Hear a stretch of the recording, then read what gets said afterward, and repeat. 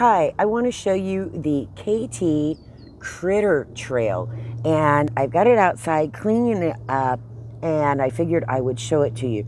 You've got multiple levels. You basically have the shelves here that you can put in and of course the bottom. The shelves have tubes going up and down. There is a wheel. There's a water bottle.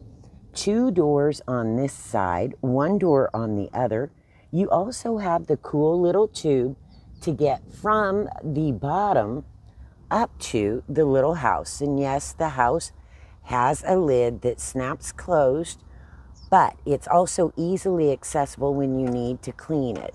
You can also take it out so you can get in easily to get your little critter.